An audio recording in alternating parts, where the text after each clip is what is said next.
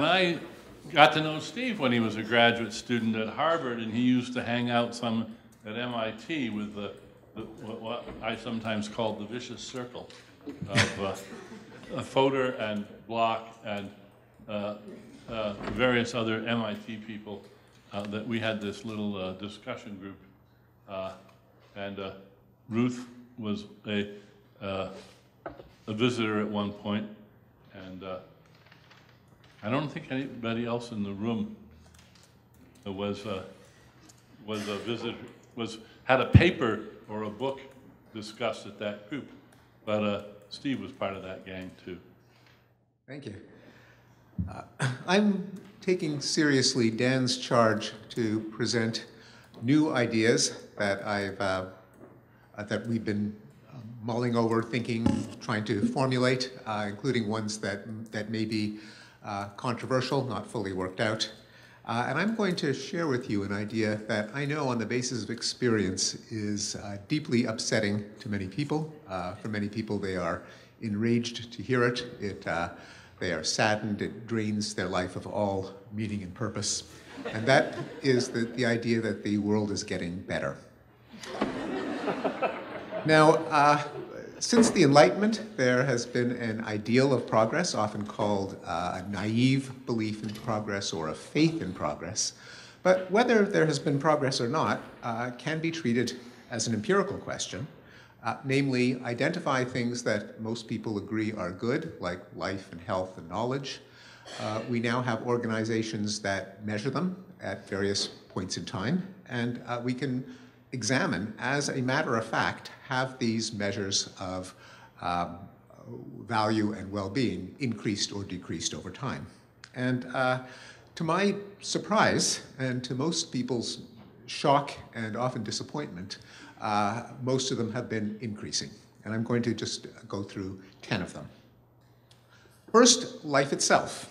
Um, I'll, I'll, I will not ask for a show of hands, but um, what is your estimate of the global average human lifespan.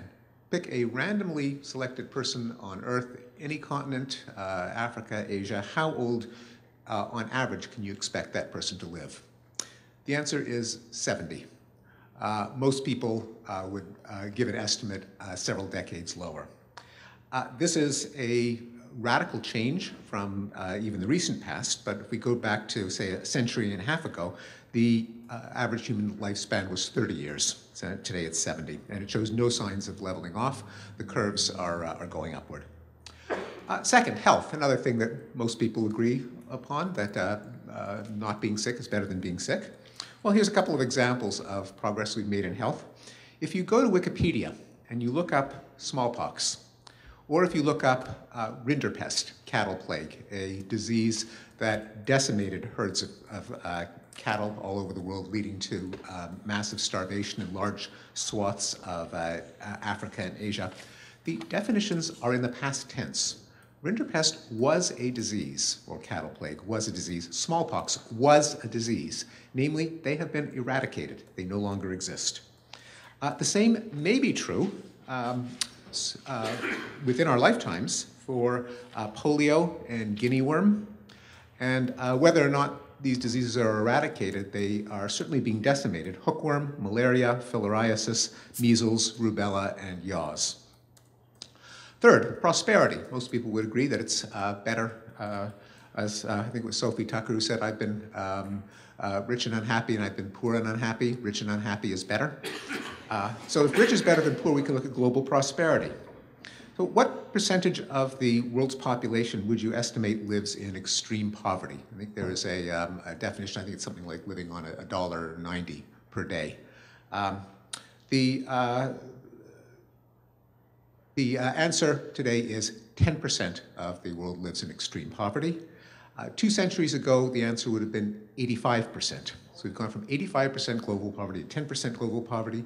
And uh, there is a, um, Sustainable Development Goal, the successor to the UN's Millennium Development Goals, that calls for global poverty to be eradicated by the year 2030. Most of us uh, will be alive uh, at that time, so we could see global poverty eradicated.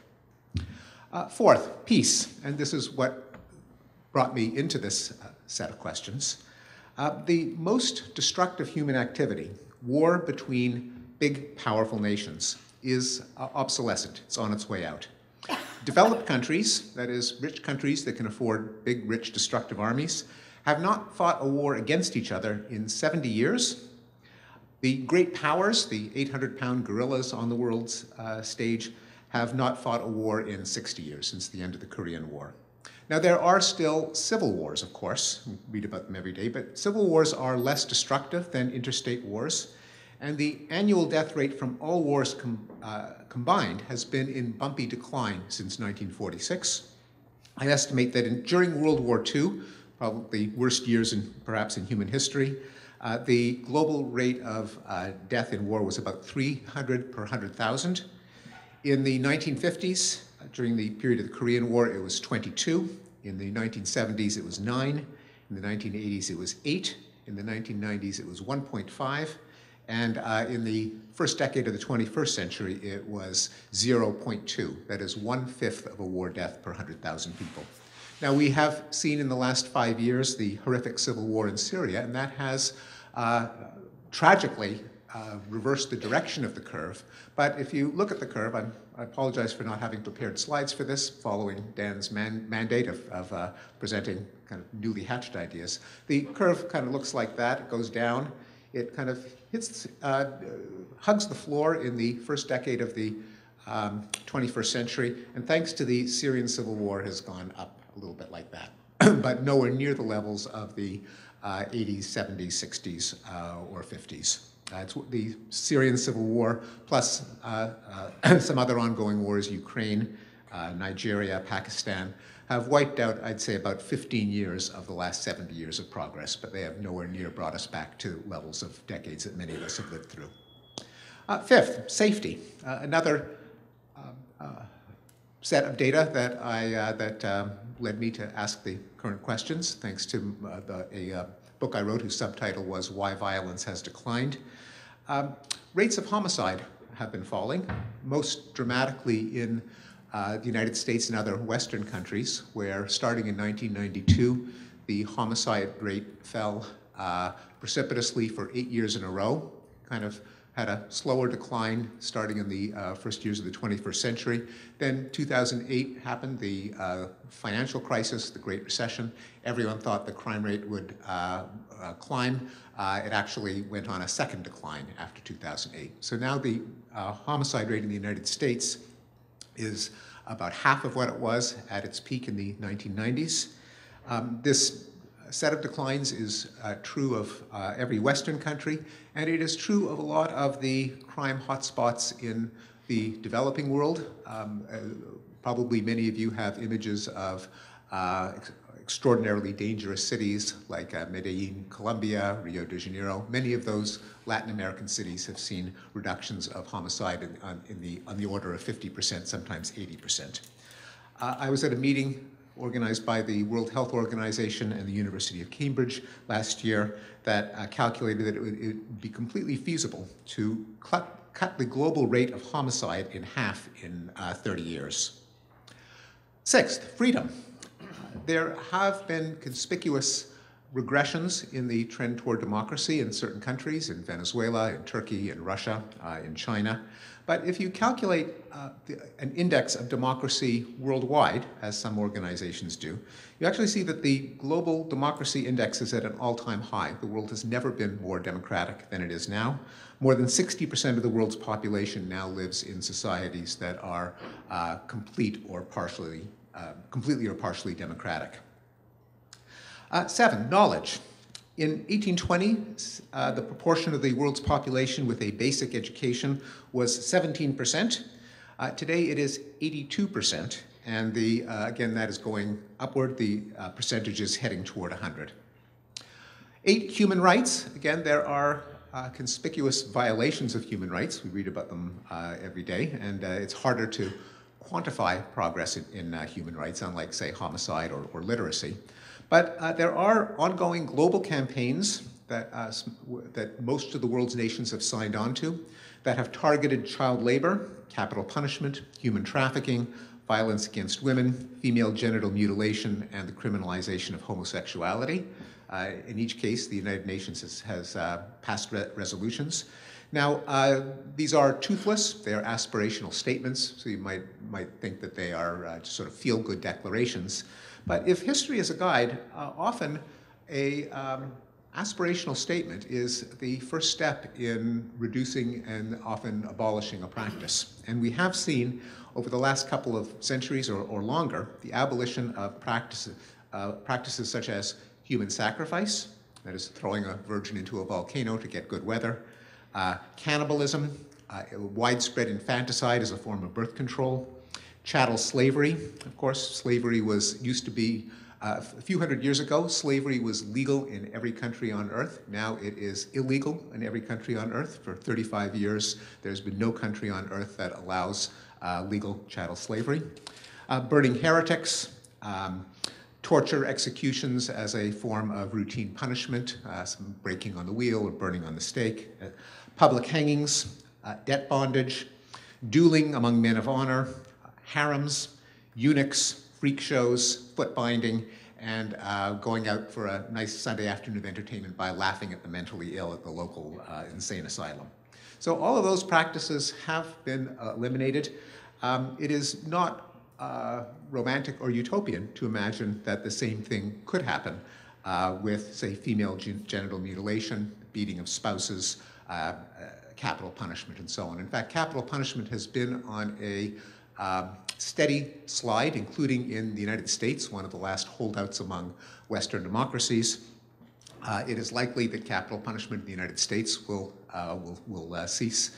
And uh, it's always dangerous to extrapolate ongoing trends uh, linearly, but just as a kind of mental exercise, if one were to do that, just extrapolating the current trend, capital punishment will vanish by 2026. Now, I don't think it will, but that's just a, a way of visualizing the direction of the change. Uh, nine, uh, gender equity. Uh, global data, uh, when they exist, show that women uh, worldwide are, are uh, getting better educated, are marrying later, are earning more, and are in more positions of power and influence. Finally, I'll throw this in. as hard as it may, believe, may be to believe, intelligence is increasing globally. According to a phenomenon called the Flynn effect, IQ has been increasing by three points a decade uh, throughout the 20th century and all over the world. So um, a couple of questions. Will these trends continue? And the answer is, of course, uh, uh, I don't know. I don't do prophecy. Um, and are there other trends that, are, uh, that, that could make things catastrophically worse? There has been a uh, a revival of um, apocalyptic uh, fantasies involving rampaging robots and engulfment by uh, uh, uh, nanobots and gray goo and so on. I think uh, some of these are utterly fanciful. there are, to be sure, ones that are serious, and particularly climate change and the possibility of nuclear war. will, are we doomed to climate change? Um, I, I, to the catastrophic effects of climate change, I should say. Um, you know, again, I, no one knows. I don't know. Uh, much depends on choices that we make now. Um, actually, I will say that we're not doomed to it because there are uh, roadmaps toward dealing with climate change other than undoing the Industrial Revolution, which uh, is not going to happen and should not happen because the developing world, in order to enjoy all the gains that the first world has enjoyed, is going to have to have a form of uh, affordable energy. Uh, the uh, Joshua Goldstein and I wrote an op-ed in the Globe in which we argued that if you are, if you want to, if you're really serious about averting catastrophic climate change, then uh, we need um, a number of things. One of them is carbon pricing, so that uh, in literally millions of decisions, people factor in the choice that minimizes carbon emissions.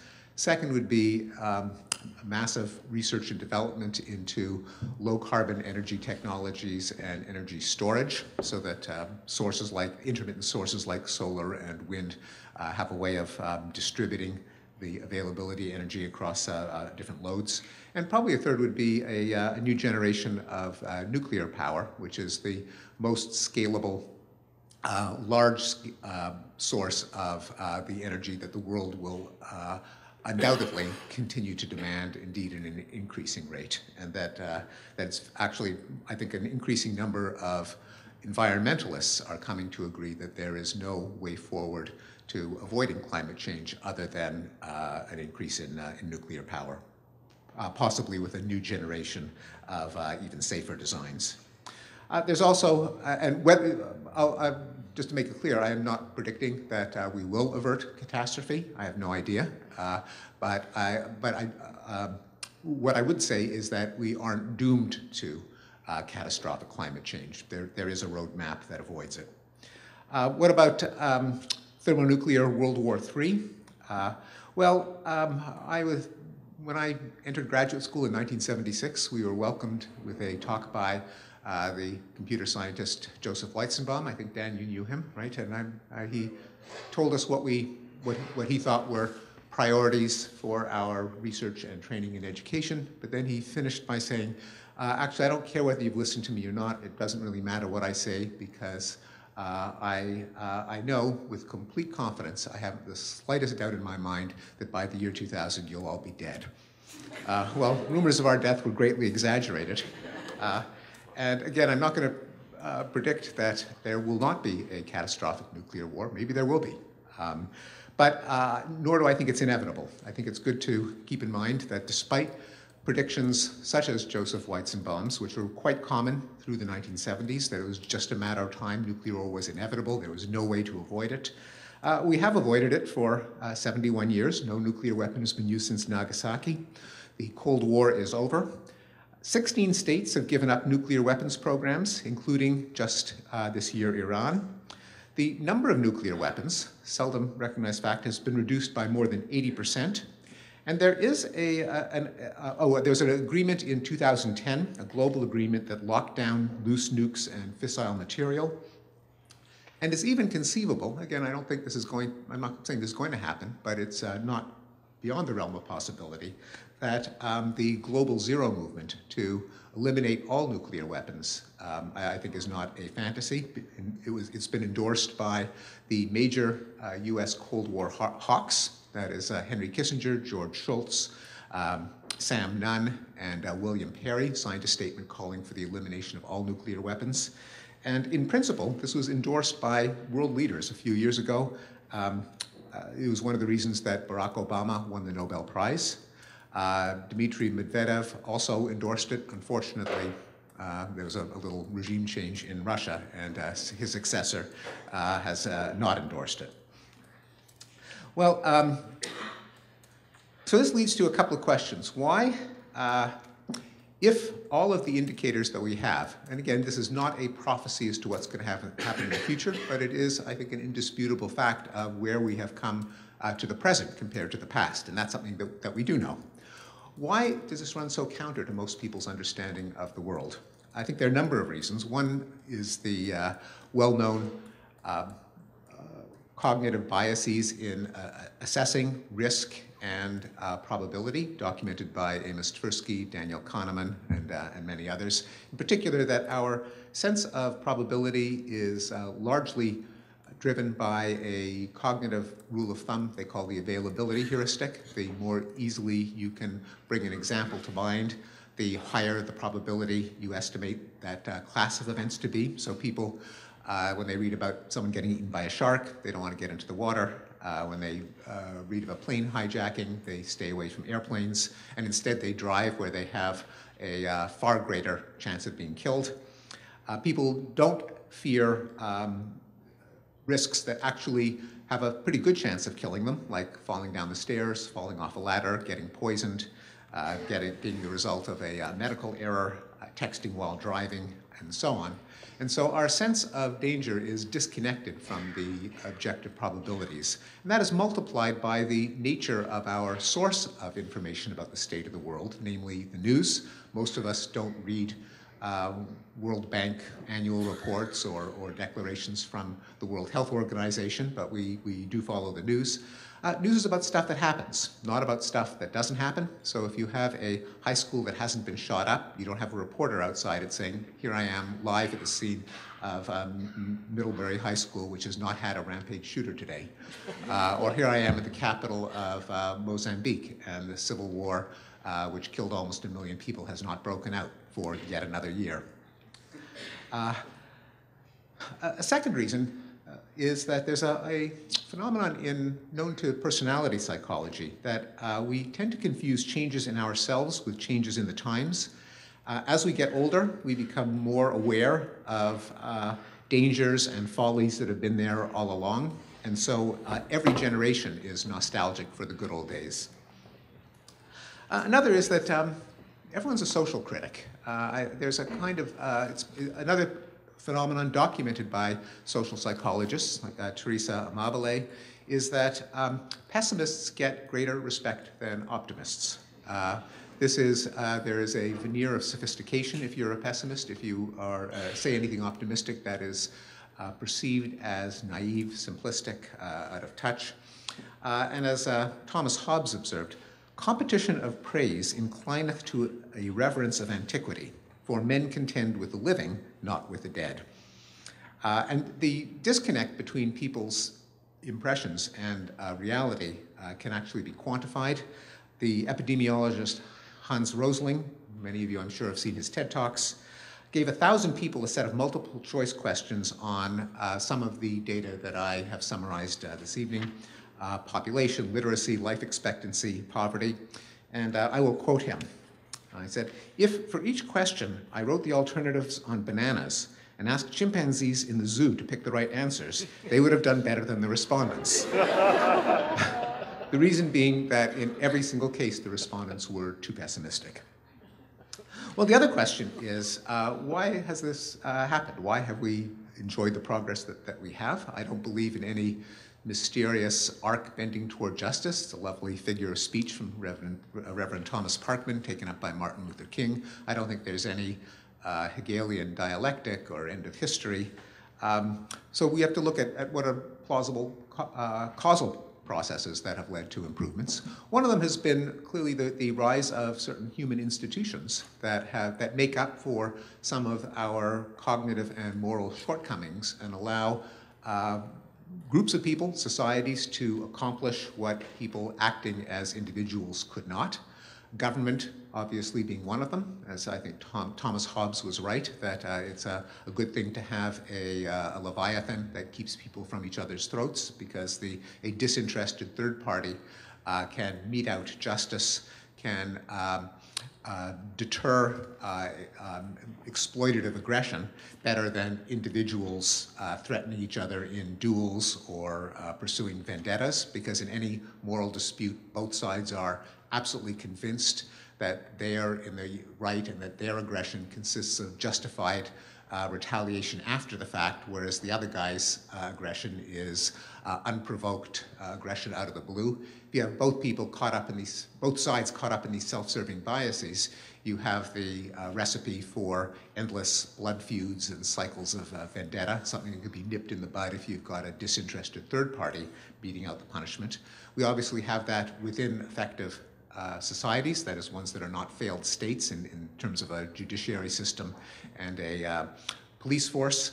We don't have the equivalent in the international arena. Of course, there's no global Leviathan, but there has been evolving a set of um, international norms, expectations, uh, ad hoc coalitions of, of uh, peacekeeping forces that have, on average, done more uh, good than harm. Uh, even though the United Nations peacekeeping forces have not always kept the peace, uh, they keep it more often than, than, than not, and uh, civil wars that do bring in peacekeepers have a lower rate of recidivism than, than those that don't. Also, the United Nations, um, with the formation of the United Nations, there was the advent of a, a, a, quite a radical change in norms in the global system. Uh, no United Nations member has ever gone out of existence through conquest. Uh, quite remarkable compared to previous uh, history in which you know, Poland would get wiped off the map and countries would get swallowed up. Uh, and there's been very little, since 1945, uh, very little uh, conquest of territory by uh, one country by another. The, certainly the annexation of Crimea the year before last is a disturbing uh, exception. But uh, by and large, borders have gotten grandfathered in. And even when states have broken up, the uh, internal uh, divisions of provinces become, or state, or states become new divisions between uh, nations. And the age-old process of moving borders around by force, swallowing neighboring weaker countries, uh, seems to be on the way out because of this global norm regime. Uh, and then, of course, other institutions, universities, um, uh, intergovernmental organizations like the World Health Organization uh, that uh, encourage cooperation and uh, retention and propagation of best practices on a national or global scale means that when there are solutions that work, you are more likely to remember them. if there are solutions that require cooperation among larger groups of entities, then the, the means is available to, to uh, do them. Uh, other institutions like um, the uh, institutions that make market exchange possible have certainly deserve a large part of the credit for the growth of affluence. The fact that China and India switched to market economies with their uh, close to 2 billion people uh, by itself uh, was responsible for a, a, large part, although not all, of the growth in those statistics. Um, not all because African and Asian countries also, uh, other Asian countries have also uh, increased, but certainly 2 billion people is going to make a big dent, and, and uh, that certainly helped. But then what about why, uh, these are ways in which, oh, and, and of course the advancement of science is directly responsible for a number of these advancements, most conspicuously in the case of uh, disease. Measure, public health measures and um, measures of, uh, of medical care have decimated rates of death. Uh, another, some other statistics that I didn't mention, but that are kind of subsumed in the ones that I did mention, is that infant mortality is way down, uh, maternal mortality is, uh, is way down. Uh, but this then leads to the question of why have these institutions uh, led to what I think we would all agree are moral advances. That is, greater freedom, greater um, life, greater health. And here I'll, I'll, just speculate, because um, again, I don't believe in any mystical arc bending toward justice. But um, I think there, there may be a a dynamic where as you uh, broaden the circle of, of discourse, as you have to set out goals and defend practices among larger and larger groups of people, that pushes the uh, values that you can promote in a, uh, in a, in a certain direction. First of all, just having to justify certain practices as opposed to carrying them on by either societal inertia or uh, primitive human motives like tribalism and uh, purity and uh, conformity, once you put a practice into the harsh light of reason, then uh, certain practices will, will uh, crumble. I think that happened with, uh, that's what got the campaign to abolish slavery started, that you just could not come up with a viable argument for why slavery sh should be practiced.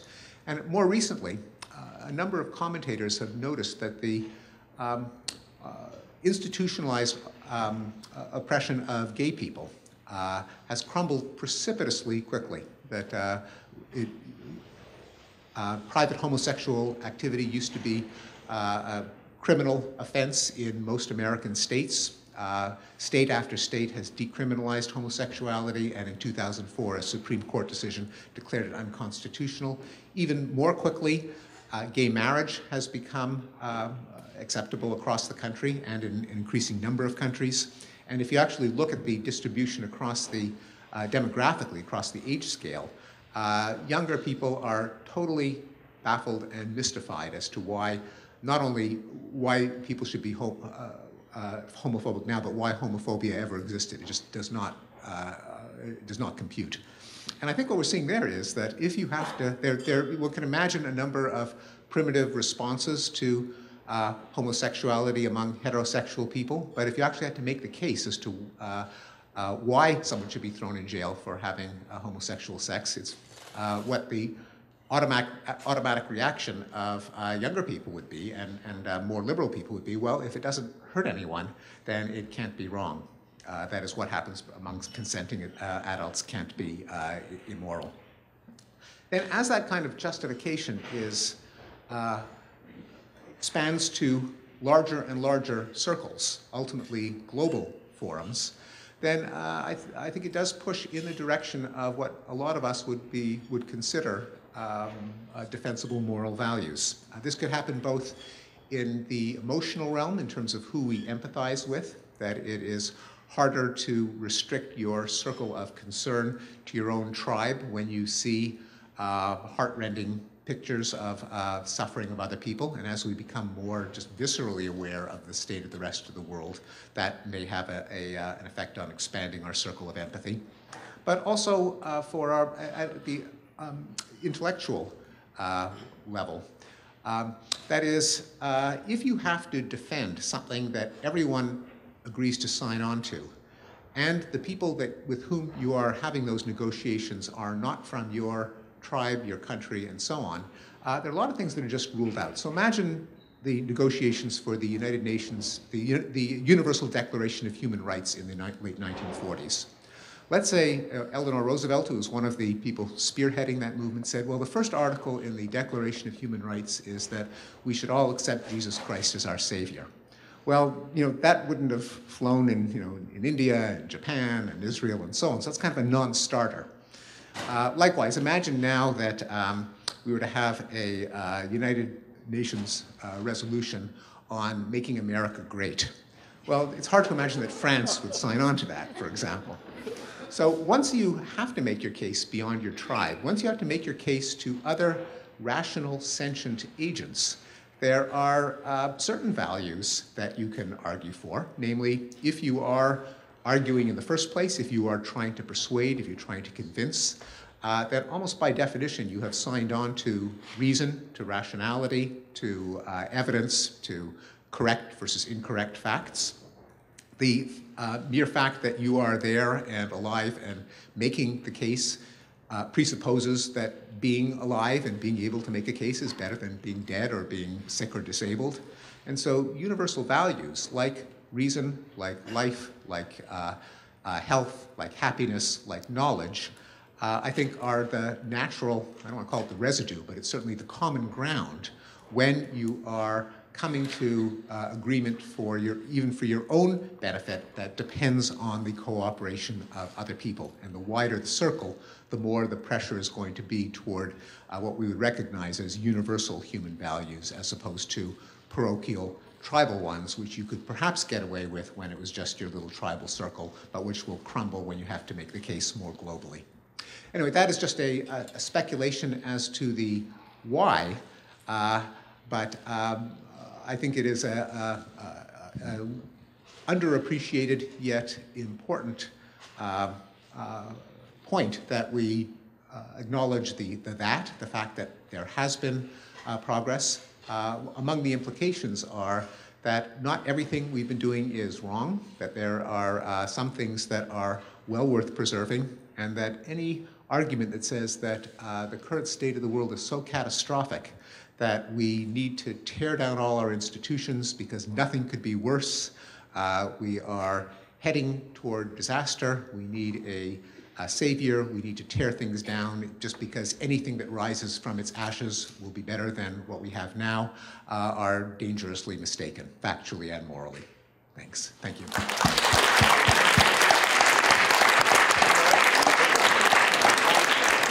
Thank you, Steve. And now we'll get to some questions. Uh, thanks. That was great and uplifting, finally. Um, I have two sort of questions comments. Um, the first is about media, and I think you're totally right. The sort of if it bleeds, it leads thing makes us crazy. But I also wonder if you agree that the flip side is also relevant. That is, we find out about things much more quickly. That some, sometimes stops things in their tracks because we've got you know people videotaping it, those sorts of things. So the sort of positive role that, that more information produces. And the other question that And I and have. the answer is absolutely yes. Oh, okay. Yeah, okay, so that's easy, yeah, Uh, sure. And the other question is, I completely agree with you.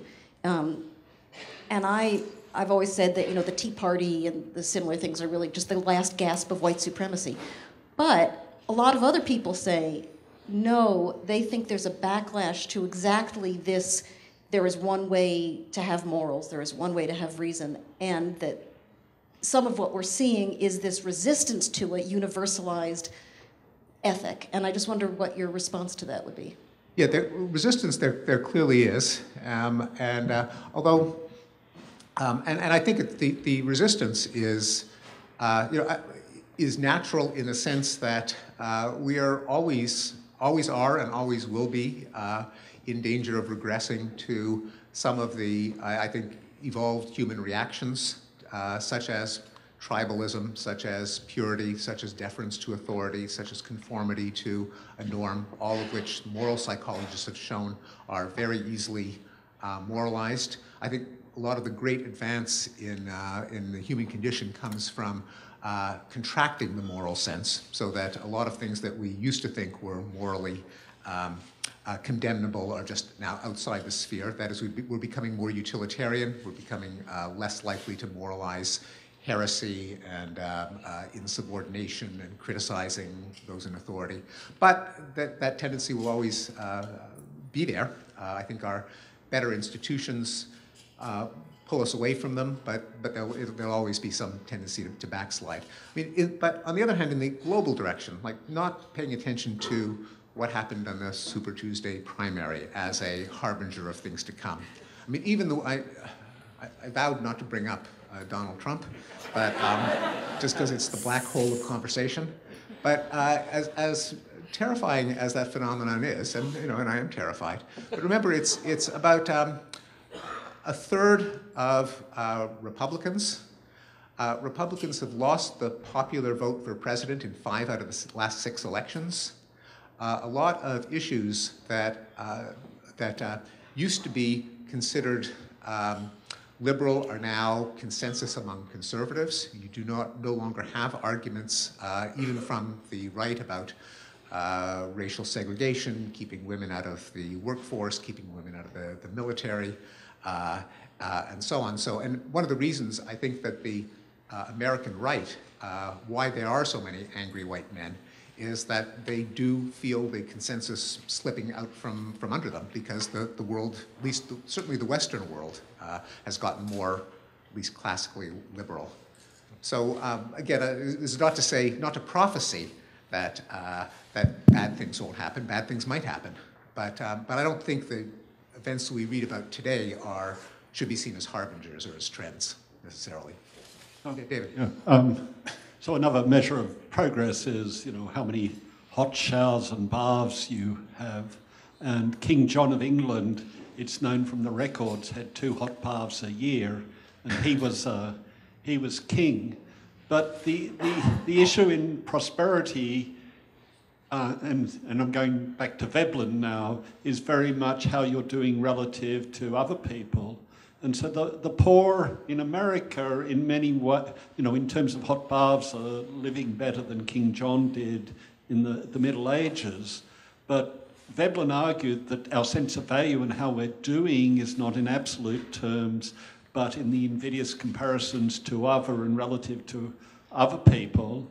And you know, a lot of the anger that you're seeing in the electorate is in that people are seeing other people doing um, better than So, in absolute terms, things are getting better. And so, you know, do you have, first of all, long term trends on income equality distribution and how do sense of well being correlate with um, sense of inequality? Yeah, the, uh, I think it is wise to, to uh, distinguish inequality from poverty. Uh, I would certainly argue, argue on moral grounds that, uh, that inequality is trivial compared to poverty. That is, um, if your child doesn't die, uh, if your spouse doesn't die, if you don't die, uh, if you are literate as opposed to illiterate, uh, if you can uh, afford to read after dinner, if you can afford light, uh, which of course for most human, uh, human history people couldn't, um, that is much more important than if someone at the other end of town has a bigger house as opposed to a much bigger house as opposed to a much, much, much bigger house. Now, granted, we do have envy. It is a, can be a powerful emotion. Uh, it can't be uh, discounted as a, as a source of, of uh, resentment and, and uh, dissatisfaction, and, and I think you're right that we are seeing it. But in the, in the grand scheme of things, um, uh, if there's a choice between keeping uh, everyone in um, uh, abject poverty and early death and children dropping like flies versus giving everyone a decent standard of living, but then there will be some ultra rich. I think the, the second one is, is uh, to be uh, clearly to be uh, preferred, which isn't to say that there, that there shouldn't also be a, uh, some concern with inequality, but in the global scheme of things, it's much less important than uh, alleviating poverty, especially globally, especially when we're talking about, say, living to 70 as opposed to living to 30, uh, being literate as opposed to being illiterate, being in a war zone as opposed to being in peace, and, and so on. Now, Steve, before we take another question, I'm going to uh, assert my right as the uh, host to, to make a point, which at lunch, we were talking about what you were going to talk about, and one of your other choices was mutual knowledge or, or, or common knowledge. And uh, following up Cheryl's point about the role of the media, I think that we should take heart from the fact that with the huge expansion of electronic media, uh, it's very much harder to keep a secret these days. Moreover, it's very easy to get mutual knowledge out there. Um, uh, an example I've used, which will maybe inflame some people here, is uh, 50 years ago, there were thousands of priests that had abused children, and there were thousands of people that knew that a priest had abused a child. Today, there are thousands of priests who have abused children, and there are hundreds of millions of people who know that this is true and who know that everybody else knows it. And that mutual knowledge, that common knowledge, has a huge effect on, for instance, recruitment into the priesthood of the Roman Catholic Church. Because you walk down the street and you know that everybody knows, and so forth. Uh, I think this is a huge effect in the world. I wonder if you agree. No, it is a, an enormously positive effect, and it's both cause and consequence of our expanding moral circle. Uh, another example of a, a, relatively recent moral concern is bullying. Uh, it used, uh, used, to be that bullying was just you know, part of childhood. Boys will be boys. Uh, you, don't, uh, you don't want to reduce bullying because then you'll have a, you know, boys growing up to be sissies and you know, panty, panty waists and how are they going to get tough. Uh, and now bullying is considered a moral abomination. The President of the United States gave a speech on bullying. That would have been kind of a, a joke when, when, uh, when, when I was a, a child. Uh, and rates of bullying have gone down as a consequence uh, of, of the widespread concern. I think this is an advance. I don't think we're in danger of having a generation of sissies. I think children who are bullied clearly suffer. I think it's good that we're eliminating it. But the, um, the paradox, though, is that the increased awareness and concern with bullying also sometimes lead to a misperception that bullying has increased because we notice it more. Um, so I, uh, so that, that's why uh, I agree with both of you that uh, in general, the increased media um, attention to suffering worldwide and in some of the um, hidden corners of our own society is, is quite clearly a good thing.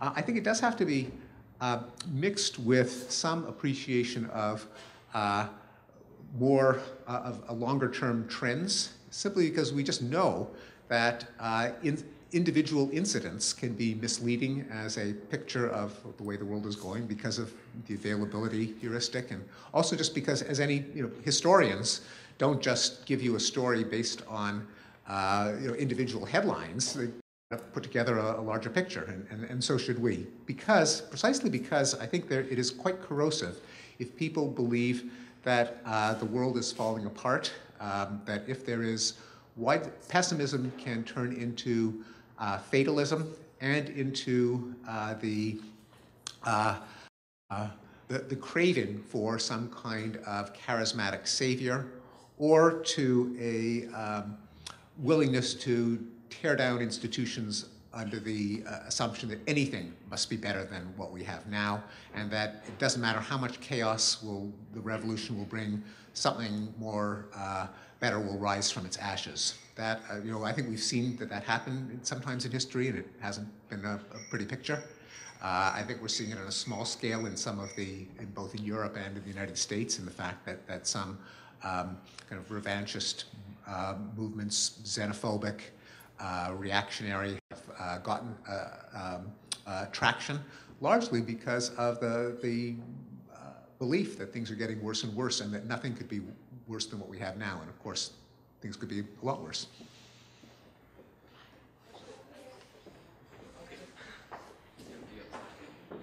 Should I go? Okay. Um, so um, I think the uh, Peter Singer expanding circle theory, it's, it's very compelling. I, I hope it's true. Um, yet from another perspective, right, tribalism just seems to be rampant. Um, and one could cite many, many examples, but one would be the to the refugee crisis in Europe. And I think that could make one very, very pessimistic that our allegiances have really expanded that much. Well, uh, it depends on how you look at it. The, the Syrian refu- refugee crisis is quite extraordinary, and it's extraordinary um, both because of the uh, how sudden it, it, it, it, was. I mean, that, that, that kind of massive influx of people uh, is a, a, very unusual event, and it's one that, of course, was facilitated by uh, communications revolutions such as uh, cell phones. Um, it has to be, uh, so I think it would be, it's not that if there's the equivalent of the Syrian refugee crisis in the magnitude that it was taken, that it would be better, would have been better 30 years ago or 50 years ago or 100 years ago. I suspect it would not have been, uh, particularly since uh, it is mixed with the, um, the, the fear, again, uh, kind of enhanced by media coverage, that some percentage of the, uh, of the refugees will themselves be fomenters of violence. What, what happened in Cologne with the uh, women being sexually uh, assaulted by groups of immigrants, even if that, of course, it's a, a small percentage, but that is enough uh, on people's minds that it could, uh, because of media coverage, because of the, the fact that, again, terrorism is a, another example of a misperception of the actual risk almost by definition. But the fact that the fear of terrorism uh, results in some skittishness of accepting a, million uh, refugees, even if it's not justifiable, it is uh, at least explicable. And it's not clear that it would have been any better if the circumstances have been, have been uh, replicated uh, in the past. So the fact that you do have Germany accepting, I think it's up to now a million Syrian refugees, is actually quite extraordinary, I think, by historical.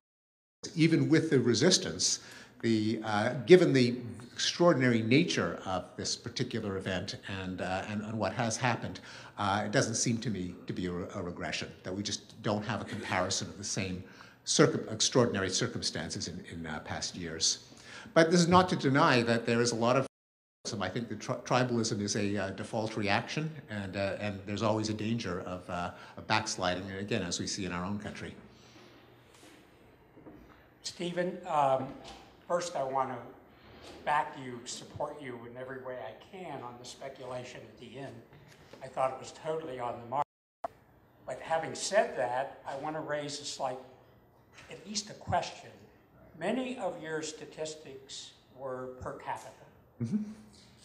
And when you look at the world population before and after fixation of nitrogen, in effect, the first decade of the 20th century, it looks like the uh, carbon dioxide curve. It's a hockey stick. The population of the world has been going up more than, you know, exponentially. Meanwhile, there's every reason to think the incidence rates in many of the things you listed are also going up, but less than exponential. So the question is a two-part question.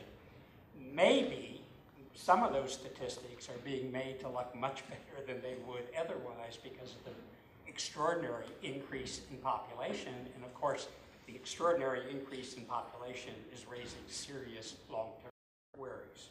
Uh, a couple of things.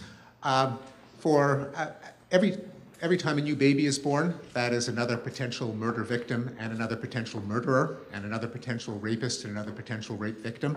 So per capita uh, incidence is the is the correct way of assessing the uh, because if the population had increased and the number of uh, homicides had stayed the same, that would be extraordinary and it would call for an explanation. How come all those people are growing up not to be murderers, unlike previous generations?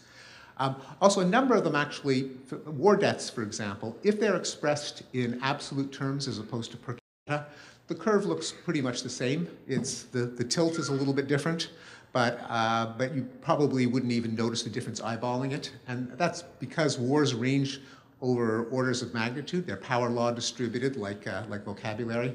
Um, so the difference between a war that kills, say, 50 million people, 5 million people, 500,000, 50,000, 5,000, you know, 50, uh, if world, you divide it by world by population or not, um, the overall trend is going to be the same or, or very similar. So actually, that doesn't depend. Uh, War deaths don't depend that much on uh, world population. But for everything else, uh, it would um, uh, the uh, incidence is the relevant way of assessing the tendency or the trend. Otherwise, you would uh, all you would look at the increase in population. You'd say everything by definition is getting worse. You wouldn't even have to look at the uh, any facts. You wouldn't have to look at murders or rapes or illness or anything. You just say things are getting worse by definition because there are more people, so there are more opportunities for bad things to happen. So I just don't think it's a defensible way of assessing the uh, prevalence of violence or, or other factors, like infant mortality, for example. If there are more people, all else being equal, there are going to be more uh, children who die in the first year of life. Uh, but if the proportion goes down, then, then that is progress, even if there are more uh, opportunities. I mean, you could have a moral argument as to is it better for people to be brought into existence only to die? Uh, how do you compare that with all the people who are brought into existence who lead a happy life? That I'm not, I'm not going to get into that philosophical issue.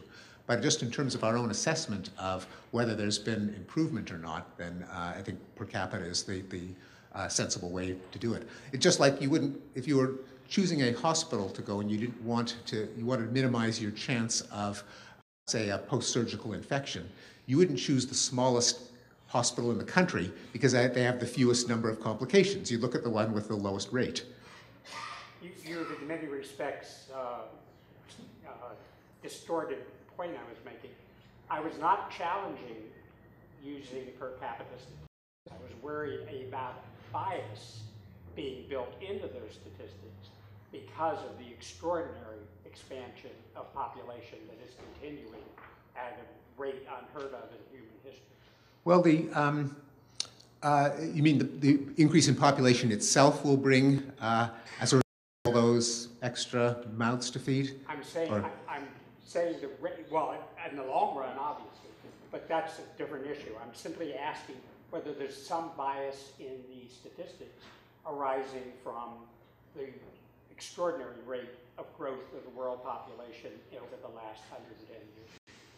Um, I, I don't see how there would be a bias, um, although there, there of course were Malthusian predictions in the 1960s that uh, there would be uh, global famines killing tens of millions of people, and the exact opposite happened. And also, of course, uh, although again, we, you, you can't prophesy the future, but the projections for population show it le- leveling off, uh, probably by the, perhaps by the middle of, of this century, perhaps by the end. But there have been population collapses, first in the, of course, in the developed world, where the, the problem now is, is even population contracting uh, and certainly leveling off. But um, as people get richer, have fewer babies, and uh, the, the, the demographic transition, and we're starting to see that happen in parts of the world that, uh, that, that have um, increased in afflu- affluence, and also for cultural reasons that no one quite understands. So the great exception to the demographic transition until the last five years or so was in the Islamic world, where there were sky-high birth rates. Uh, just recently, they've leveled off, and no one really knows why. Uh, probably having to do with the empowerment of women, that when women have more choices over when they get married, whether they have access to contraception, whether they can be educated, they tend to have fewer babies. But, uh, but, but even, even in population, I don't think it's, it, the, the predictions that I've seen do not predict that it's just going to keep going up exponentially. Hello. Uh, Thank you. Uh, I appreciate your, your emphasis on, on positive aspects, uh, taking a historical trajectory. Um, However, I think there's some problem um, looking at uh, some of the details of, of your argument, like with um, slavery. Um, I think uh, that you overstated the, the role of, of reason and rationality in um, the end of the slave trade and underplayed uh, affect and building, as you said, kind of like larger circles of, of community. So, that, like uh, when you when you talk about um, things that have made positive change, you you mentioned a number of- institutions. So um, you, you didn't you know mention uh, religion, and I think religion and government and, and a lot of the other things um, have uh, contributed insofar as they have been um, uh, vehicles for balancing forces, uh, bringing about kind of reason uh, discourse or facilitating reason discourse, and by cultivating um, affect. So, like with the, the slave trade, um, it wasn't just people saying, you know, slavery is a bad thing. Certainly there was that, but it was also people being confronted with the horrors of slavery and you know saying you know uh, contrary to kind of a, a, really gross kind of tribalism that hey there's uh, community and connection uh, i can expand my understanding of, of, of tribe. And so i think th- those kinds of things in whatever organization you, you see it, those kinds of things um, are important to telling the story of uh, why positive things exist. But you know, it also reveals how you know there can be uh, problems, kind of with you know historical specifics, and you know like drilling down and talking about well, what were the forces at play in the end of the slave trade you know, over a number of years, what kind of actors, what were their motivations, what kind of legislation, and, you know, like with the Civil War, you know, it was in fact war that brought about the end of slavery, not merely um, kind of a, a- an argument for slavery. So just kind of your thoughts on kind of the relationship between, you know, affect uh, and uh, reason in, in these positive examples of organizations. Yeah, yeah, no, that's, uh, uh, no, that, that's an important point. and uh, you know, I- it's hard to apportion how much was due to reason, but you're certainly right that affect had a huge role in, in um, uh, examples like the uh, popularity of Uncle Tom's Cabin as a vivid depiction of the suffering under slavery, Frederick Douglass's uh, autobiography, um, first-person accounts of what it was like to be a slave clearly did push um, people uh, away from embracing slavery in the same way that uh, vivid media coverage of suffering in parts of the world today that we might not otherwise have noticed tugs at people's emotions in a, in a positive way. Um, of course, in the United States, it did take a, a war, although it didn't uh, in other countries. Uh, Europe managed to, uh, and the British Empire, abolish slavery without a, uh, a civil war. And But yes, common cause between religious people and non-religious people on uh, some of these fronts. Some, some religions, uh, n- not all. The slaveholders and the Confederates were all religious people as well. Right, But it was, uh, but certain religions like Quakerism, Quakerism certainly were, uh, Some Methodists. My point is, like, insofar as you see with a, an institution um, efforts to, to build common ground, to cultivate uh, affect, to balance forces, those kinds of things can move. So, so just like you, with government, you can see, you know, with totalitarian and fascist regimes, you know, those are bad forms of government, just like you have bad forms of religion. Yeah, no, that, that, that's clearly right. I mean, the, so I think that one can't generalize about religion across the board because religion was on all sides. But, uh, but religion, religious institutions, opposed to specifically theological beliefs, can be a kind of uh, uh, crucible for the, the um, enhancement of certain moral values. You, and you know, there were arguments that slavery wasn't Christian uh, in, in feeding your, your, your uh, fellow people uh, with the charity and respect and, and, and, uh, and so on. Uh, so I think the, uh, I mean, religion would be a whole other discussion. I think religion changes as part of this general current. That is, as um, that there's been a tendency uh, in large parts of the world, though not everywhere, for religions to become more humanistic, more ecumenical, more liberal, uh, and uh, just because religions can't resist the tide that also is pushing uh, other human institutions. In their driving tide. Steve, I want one more question, and I think Nancy's been waiting Oh, yes, for yes, quite a that's while. right. Yeah, so, so. Last question, by the way. That was fascinating and, So- and- and uplifting, so thank you, thank you for that talk, that was, that was wonderful. Um, but I want to go back to David's question about inequality, because I think you didn't exactly answer it. So two things. One is, eh, you know, of course, I, I get your point that uh, poverty matters more than inequality, but it depends on the degree of inequality, right? So if all of those gains were made by, say, the top 10% of the population, then they're not as rosy as it looks. So, so two things. One, has inequality been going up? And two, what do, what do all those trends look like if you look at the bottom, say, quarter or half of the population in poverty or any other Being measure? globally or in the United States? Globally. Things you were focusing on in your talk. Uh, yeah, no, the, Short compass. Right. Uh, there, there absolutely has been an increase in inequality, but there's also been a huge reduction in poverty. Uh, most dramatically in the case of uh, the, uh, the global poverty line, where it's gone from 85% to 10%. Um, so it's, it, is, it is not, uh, globally, it is not an increase at the, just at the top end, no, because of course that would be a, a bad thing, but, but uh, the, in fact, the, globally, in the United, in, in the United States in particular, and in Western countries in general, the rich have been getting richer faster than the poor have been getting richer. Globally, it's the other way. The poor have been getting richer faster than the rich have been getting richer. So within countries, inequality has increased. Across countries and globally, inequality has decreased. Just because there were so many people who were so miserably poor that when they get uplifted, that makes a, a, a huge difference for the, the global uh, rate. Thank you, Steve. Thank everybody. I-